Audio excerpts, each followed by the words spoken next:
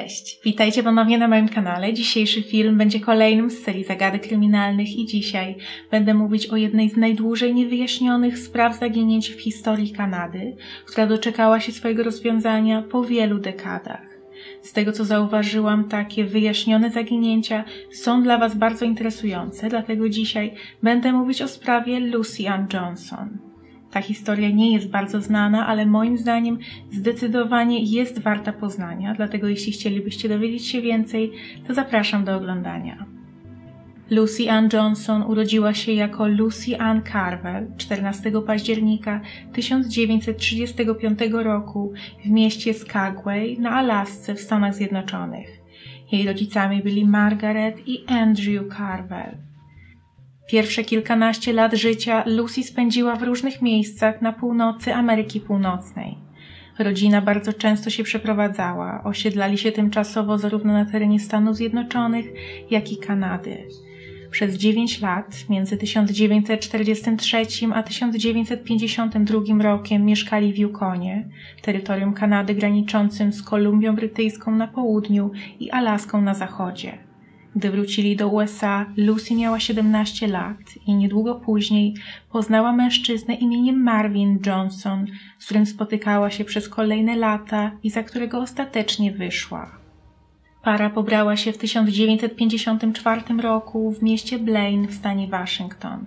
W ciągu kolejnych miesięcy przeprowadzili się do wspólnego domu w Kanadzie, w mieście Surrey, w prowincji Kolumbia Brytyjska. Ich posiadłość znajdowała się przy 103 Alei i 145 ulicy. Marvin pracował jako marynarz, głównie na pokładzie holownika, a Lucy zajmowała się domem, choć zdarzało jej się także pracować dorywczo w lokalnym szpitalu, Vancouver's St. Paul's Hospital. Kobieta była również głęboko wierząca i udzielała się w życiu kościoła. Między innymi uczestniczyła jako wolontariuszka w akcjach charytatywnych organizowanych przez Catholic Aid Society. Małżeństwo doczekało się dwójki dzieci, córki Lindy i syna Daniela. Życie rodzinne do czasu układało się idealnie. Problemy zaczęły się dopiero w 1961 roku, gdy Marvin stracił pracę na holowniku. Wtedy z Lucy byli małżeństwem od siedmiu lat. Nadal dla otoczenia tworzyli zgraną parę i to, co działo się za zamkniętymi drzwiami, pozostawało sekretem. Tajemnica wyszła na jaw dopiero w maju 1965 roku, gdy Marvin zgłosił się do RCMP, czyli Royal Canadian Mounted Police, kanadyjskiej policji działającej na poziomie federalnym i poinformował o zaginięciu żony. Zgłoszenie nie było typowe i takie, do jakiego przywykli śledczy, ponieważ gdy poproszono Marwina, żeby opisał gdzie i kiedy ostatni raz widział żonę, przyznał, że było to we wrześniu 1961 roku, czyli prawie cztery lata wcześniej. Kobieta ostatni raz była widziana przez sąsiadów w okolicy bloku przy 145 ulicy, czyli tam, gdzie mieszkała z mężem i dziećmi od lat. Śledczy stanęli przed bardzo trudnym zadaniem. Typowe procedury określone w przypadku zaginięć tutaj były bezcelowe. Nie było mowy o pierwszych 24 czy 48 godzinach od zniknięcia. Po czterech latach odnalezienie kobiety całej i zdrowej graniczyło z cudem. Po takim czasie ciężko było znaleźć jakichkolwiek świadków, którzy pamiętaliby dzień ich zniknięcia i wszystkie potencjalne ślady zostały już zniszczone przez czas. Mimo wszystko podjęto próbę rozpowszechnienia informacji na temat zaginionej. Zdjęcia kobiety pojawiły się w gazetach. Lucy miała wtedy 26 lat, ciemne włosy, brązowe oczy, około 1,65 m wzrostu i ważyła około 50 kg. Jak nie trudno się domyślić, w sprawie było wiele teorii i większość podejrzeń padała na męża. Powód, dla którego Marvin zdecydował się zgłosić zaginięcie małżonki po czterech latach, nie był znany, ale sam fakt, że tak długo utrzymywał to w sekrecie, pozostawiał spore pole do domysłów na temat jego udziału w sprawie. Mężczyzna stał się podejrzanym numer jeden. Od samego początku uważano, że kobietę spotkało coś złego z rąk kogoś bliskiego, najprawdopodobniej właśnie męża. Wiadomo, że Marvin przez te lata z nikim nie rozmawiał na temat nieobecności żony a podczas przesłuchania kilku z sąsiadów przypomniało sobie, że mniej więcej w czasie, gdy kobieta przestała pojawiać się w okolicy, mąż wykopał w ogrodzie zbiornik z szambem. Daty oczywiście mogły się nie zgadzać, ponieważ minęło kilka lat, ale policja i tak uznała, że to najlepszy jak do tej pory trop w sprawie. Natychmiast zlecone zostało rozkopanie i przeszukanie terenu wokół domu. Mimo sporych podejrzeń ostatecznie nic tam nie znaleziono. Rozważono postawienie mężczyźnie zarzutów, ale nie było to możliwe ze względu na niewystarczające dowody przemawiające o jego roli w zniknięciu Lucy. Poszukiwania były nastawione praktycznie wyłącznie na odnalezienie ciała. Po tak długim czasie nikt nie spodziewał się, że Lucy może być cała i zdrowa. Liczono, że szybko uda się ustalić miejsce jej spoczynku. Nikt nie mógł przewidzieć, że ta sprawa stanie się jedną z najdłużej nierozwiązanych spraw zaginięć w historii Ameryki Północnej. Mijały jednak kolejne tygodnie, miesiące, a następnie lata i policja nie miała wystarczająco tropów, żeby sprawnie prowadzić śledztwo.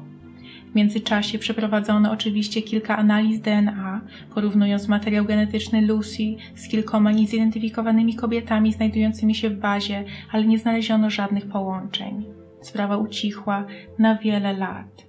Marvin zdążył ponownie się ożenić i dwójkę swoich dzieci wychowywał z nową małżonką. Niestety, jego syn Daniel zmarł w wieku kilkunastu lat. Sam Marvin Johnson umarł pod koniec lat dziewięćdziesiątych i dopiero nieco ponad 50 lat po zniknięciu jego pierwszej żony w 2013 roku jej sprawa została wyciągnięta z archiwum X i zyskała ponowny rozgłos. Oddział policji w mieście Suri organizuje akcję pod tytułem Missing of the Month, czyli Zaginienie Miesiąca, podczas której co miesiąc naświetlana jest jedna od lat nierozwiązana sprawa zaginięcia i w czerwcu 2013 roku padło właśnie na Lucy Ann Johnson. Jej historia została szczegółowo opisana w magazynie The Leader z nadzieją, że tym razem trafi na kogoś, kto może wiedzieć, co stało się z nią pół wieku wcześniej. Publikacja artykułu miała jeszcze jeden skutek. Córka kobiety, Linda Evans, postanowiła skorzystać z nowego rozgłosu w sprawie matki i rozpocząć równoległe śledztwo na własną rękę. Gdy straciła matkę, miała 8 lat i przez całe życie zastanawiała się, czy Lucy zostawiła ją, brata i ojca z własnej woli, czy może przydarzyło jej się coś naprawdę strasznego. Linda wiedziała, że niezależnie od tego, jaka będzie prawda, musi ją poznać, ponieważ tylko to daje jej wewnętrzny spokój. Jej pierwszym krokiem było wynajęcie przestrzeni reklamowej w lokalnych gazetach, w miejscach, w których matka spędzała czas za młodu. Wynajęła także kilka osób do rozwieszenia w tych rejonach ulotek.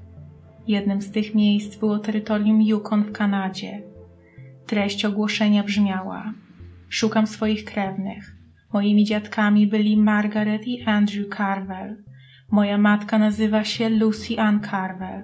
Urodziła się 14 października 1935 roku w Skagway. Dołączone zostało również zdjęcie kobiety, zrobione niedługo przed jej zniknięciem. Oczywiście, robiąc to, Linda miała nadzieję dowiedzieć się więcej na temat losu, który spotkał jej matkę, ale skutki przerosły jej oczekiwania. Artykuł trafił w ręce kobiety imieniem Ronda, mieszkającej w mieście Whitehorse, czyli stolicy terytorium Yukonu. Kobieta na zdjęciu w gazecie rozpoznała swoją matkę i powiadomiła policję. Linda miała ogromne szczęście, że artykuł trafił akurat na właściwą osobę i że już 13 lipca 2013 roku Lucy Ann została odnaleziona cała i zdrowa w Kanadzie, dokładnie w miejscu, w którym jako nastolatka spędziła 9 lat życia. Teraz miała 77 lat i nikt z jej otoczenia nie wiedział o życiu, które wiodła do 26 roku życia. Pierwsza rozmowa telefoniczna między Lucy i córką, którą 52 lata wcześniej zostawiła bez słowa pod opieką ojca, była niezręczna. Linda nie wiedziała, co powiedzieć. Podsumowała, co działo się w jej życiu pod nieobecność matki i przekazała smutną wiadomość na temat śmierci swojego brata Daniela. Z zachowania matki można było wnioskować, że jest w szoku, że prawda na temat jej zniknięcia wyszła na światło dzienne, ale ku zadowoleniu córki Lucy zgodziła się na odnowienie kontaktów. Córka przyznała, że przez wszystkie te lata była pewna, że matka nie żyje i teraz, gdy dowiedziała się, że jest inaczej, była w niebo wzięta i zupełnie nie żywiła urazy. Cieszyła się po prostu, że odzyska matkę, którą myślała, że straciła na zawsze. Pod koniec tej pierwszej rozmowy telefonicznej powiedziały sobie nawzajem, że się kochają. Kilka tygodni później Linda przyleciała z Vancouver do oddalonego o ponad 2000 kilometrów Whitehorse, żeby spotkać się z matką i członkami jej nowej rodziny. Na lotnisko przyjechała po nią przyrodnia siostra, przyrodni brat, ciotki i sama Lucy Johnson. Trudno mi sobie nawet wyobrazić, jakie to musi być uczucie. Po 52 latach dowiedzieć się, że matka jednak żyje i że ma nową rodzinę, o której istnieniu się nie wiedziało. To spotkanie na lotnisku rozpoczęło się od czułego przywitania. 77-latka od razu poznała swoją córkę i nawet skomentowała, że jest ona bardzo podobna do swojej przyrodniej siostry. Również miała bladą cerę i piegi. Późniejszym wywiadzie Linda przyznała, że natychmiast poczuła więź ze swoją matką, że gdy spojrzała jej w oczy, zobaczyła tam część siebie. Wiedziała jednak, że jedno bardzo je różni. Ona sama nigdy nie zostawiłaby swoich dzieci i nie wyjechała bez słowa. W tym czasie sama była już babcią i chciała, żeby matka miała okazję poznać swoje wnuki i prawnuki. Pierwsza wizyta w Whitehorse trwała tydzień i w tym czasie kobiety miały okazję odbyć wiele szczerych, emocjonalnych rozmów, które nie obyły się bez łez. Można było jednak odczuć, jak ich relacja odnawia się i jak zabliźniają się stare rany, które zniknięcie matki zostawiło Lindzie. Oczywiście pozostawało jeszcze najważniejsze pytanie: dlaczego 50 lat wcześniej Lucy uciekła i nie kontaktowała się z rodziną, którą zostawiła? Gdy jej córka Ronda znalazła artykuł i na zdjęciu rozpoznała matkę, natychmiast do niej zadzwoniła. Wtedy 77-latka przyznała, że to nie jest przypadkowe podobieństwo, że to ona jest na tym zdjęciu, ale wyjawiła, że tak naprawdę przez ten czas wcale się nie ukrywała, że to jest zupełny przypadek, że tak długo nie została odnaleziona. Pod wpływem nalegań córki postanowiła także opowiedzieć swoją wersję tego, co wydarzyło się 50 lat wcześniej. Jej zdaniem, jej pierwszy mąż Marvin znęcał się nad nią i regularnie zdradzał z innymi kobietami. Od dłuższego czasu chciała odejść, ale on był znacznie silniejszy i jej zabraniał. W końcu zgodził się, ale zaznaczył, że w takim razie musi zostawić dzieci pod jego opieką. Lucy stanęła przed najtrudniejszym wyborem w życiu, ale uznała, że musi zrobić to, co najważniejsze dla niej i wyjechała. W ciągu kolejnych lat rozpoczęła nowe życie, poznała partnera, wyszła za mąż i urodziła trójkę dzieci. Przez 19 lat mieszkała w okolicy Kolumbii Brytyjskiej, aż do 1980 roku, gdy przeprowadzili się na terytorium Yukon, gdzie dożyła starości. Z zachowania odnalezionej można wnioskować, że oczywiście na samym początku była w szoku, że prawda wyszła na jaw, ale tak naprawdę bardzo się tym nie przejęła. Można wnioskować, że pewnie spodziewała się, że to może kiedyś nastąpić, jednak jak sama przyznała, nigdy aktywnie się nie ukrywała. Jej córka, Ronda, przyznała, że tak naprawdę wieści o tym, że matka kiedyś miała inną rodzinę, nie były dla niej ogromnym zaskoczeniem. Ich rodzinne życie zawsze było bardzo chaotyczne i skomplikowane, dlatego też z otwartymi ramionami przyjęła nową, starszą przyrodnią siostrę. Ronda wspomniała jednak przy okazji, że zmaga się z pewnym poczuciem winy, że jej było dane mieć matkę przez całe życie, a siostra od ósmego roku życia musiała wychowywać się bez niej. Zdaniem samej Lindy wersja przedstawiona przez matkę może być wyolbrzymiona.